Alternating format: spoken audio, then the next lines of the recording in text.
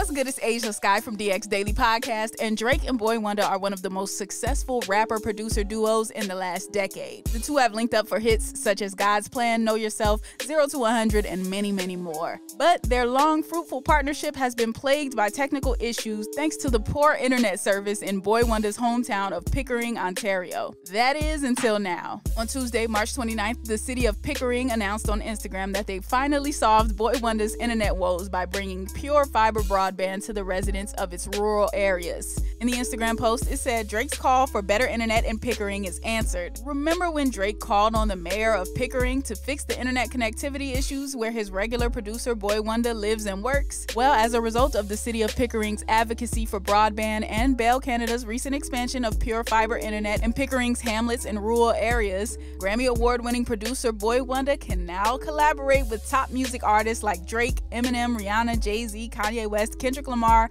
and Jack Harlow directly from his home studio here in North Pickering. Now, Drake and Boi-1da both celebrated the news by sharing the post on their Instagram stories, with Boi-1da tagging Drake and writing GOAT behavior. So it seems like Drake has been helping people out quite a bit recently. He's been doing a ton of giving back as well as using his influence to help people out. So we want to know what type of give back or charity would you like to see Drake do next? Let us know in the comment section below. Also, be sure to subscribe and hit the notification bell. Subscribe to the DX Daily Podcast and keep it locked in to Hip Hop DX.